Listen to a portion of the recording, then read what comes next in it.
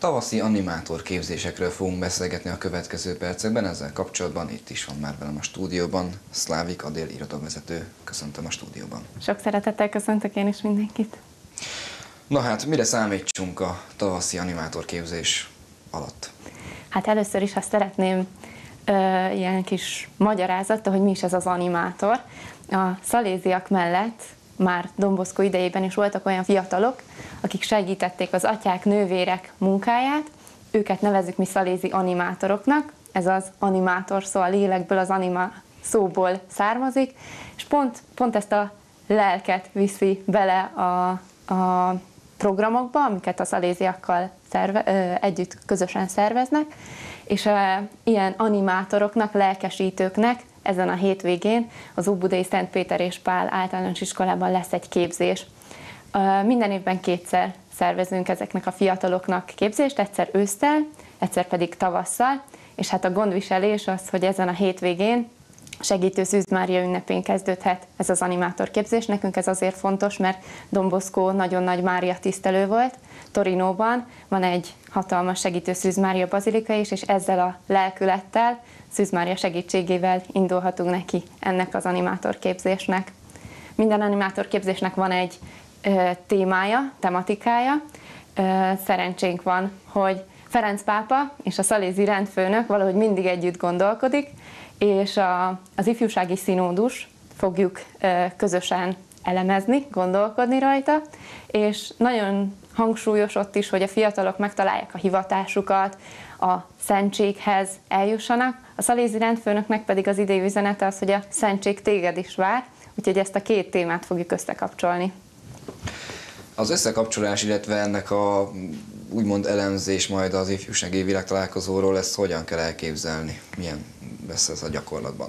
Hát mivel a mai fiataloknak a, a figyelme az nagyon sok felé koncentrálódik, ezért szeretnénk mi is minél színesebben, minél interaktívabban ezt a dokumentumot felhasználni. Az ifjúsági színódusnak a záró dokumentumának három fő része van. Ezt a három fő részt fogjuk csoportokban interaktív módon feldolgozni.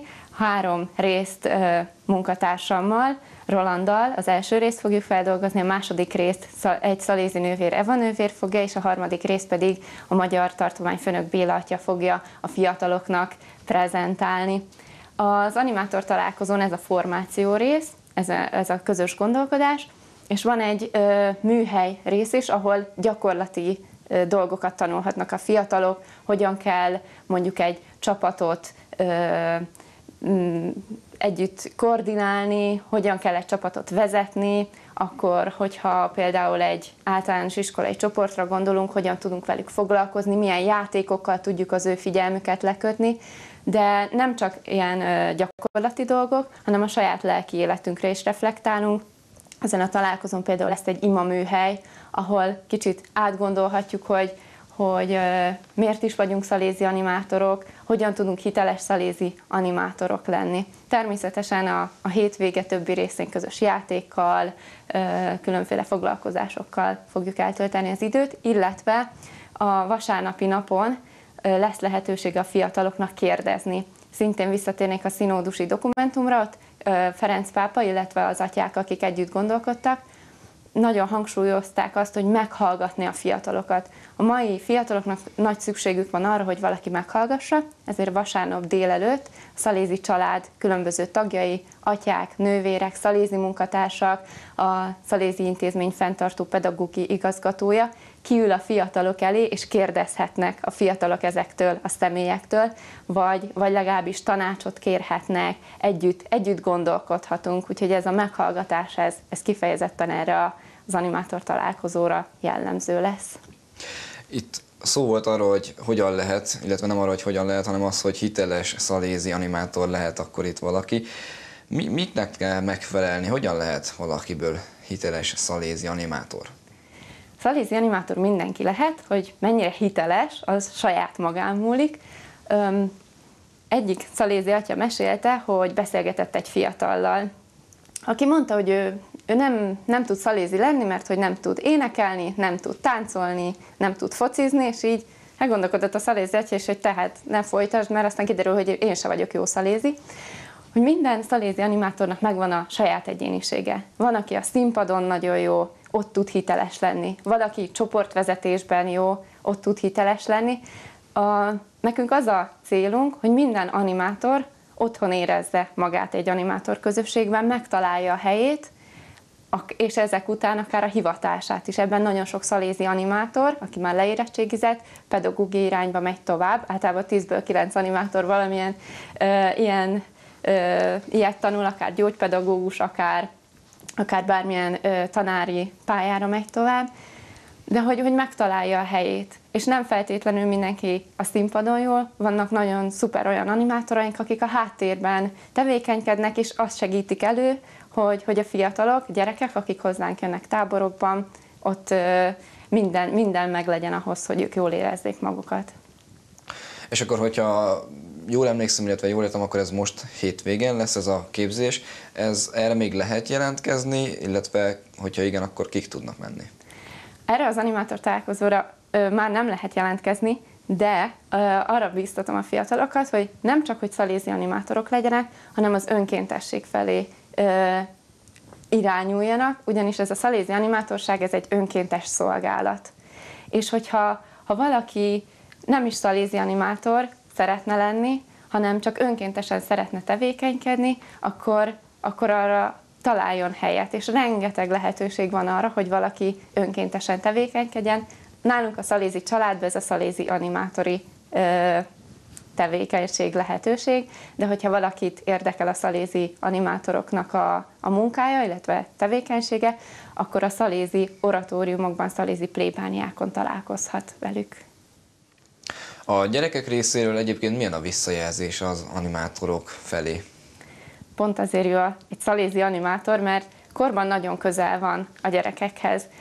Tapasztalatból is tudom mondani, hogy amikor én kisgyerek voltam, akkor felnőtt vezetőink voltak egy-egy táborban. És az úgy kicsit nehézkes volt, mert az idősebb nénik bácsik már nem, nem jöttek velünk ugye játszani, persze jó volt velük beszélgetni, de valahogy a korkülönbség, volt egy kis távolság közöttünk. Viszont a szalézi animátor egy olyan fiatal, aki csak 4-5 év korkülönbség van a gyerekekkel szemben, könnyebben leül velük játszani, elmegy velük focizni, talán közös az érdeklődési körük, és ezért a gyerekek számára is ö, pozitív az, hogy egy fiatal a vezetőjük, egy fiatal lehet az ő példaképük, tehát abszolút jó a visszajelzés a gyerekektől is.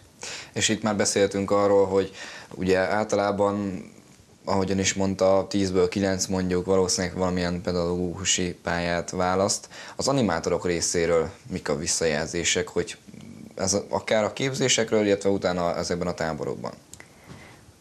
Az animátoroknak az az egyik jellemzőjük, hogy soha nincsenek egyedül, hanem mindig közösségben vannak. Közösségben dolgoznak, közösségben szervezik meg a saját táboraikat, saját foglalkozásaikat, és, és ezért van egy közösségi élményük is. Tehát, hogy ezért, ezért nagyon szeretnek sokan ebbe a közösségbe tartozni, mert van egy csapat, van egy közösség, ahol, ahol együtt dolgozhatnak. Viszont az nagyon fontos, hogy, hogy ebbe a közösségbe ők is jól érezzék magukat, tehát hogy bekapcsolódjanak ebbe a közösségbe, amit, amit úgy tudnak, hogy, hogy nyitott, nyitott lélekkel, nyitott szívvel vannak egymás között. És nagyon-nagyon szoros barátságok szoktak kötődni, illetve vannak olyan régebbi animátorok, akik szívesen járnak vissza, akár fiatalabbaknak ö, helyi szinten képzéseket tartani.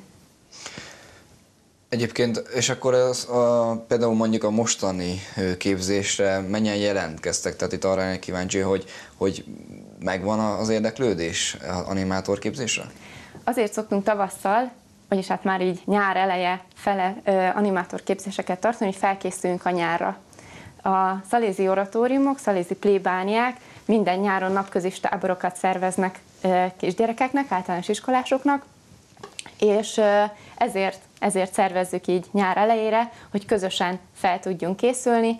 A, általában 100-120 fiatal jön össze erre a hétvégére, a mostani hétvégén egy picivel kevesebben leszünk, tekintve arra, hogy segítő Szűz Mária ünnep van, nagyon sokan a helyi közösségeikben ünnepelnek, illetve, illetve hogy érettségi időszak van, vizsgai időszak van, de nagyon sok olyan elkötelezett animátor van, aki, aki szeretne fejlődni, van aki, van, aki csak egy-egy napra fog eljönni a képzési részre, de így, így most olyan ö, kicsit kevesebb létszámmal, de így is nagy lelkesedéssel állunk neki a hétvégének. Maradjon is meg ez a lelkesedés, és sok sikert kívánok a hétvégéhez, a képzéshez. Köszönöm szépen, hogy itt volt ma velünk. Köszönöm szépen a meghívást.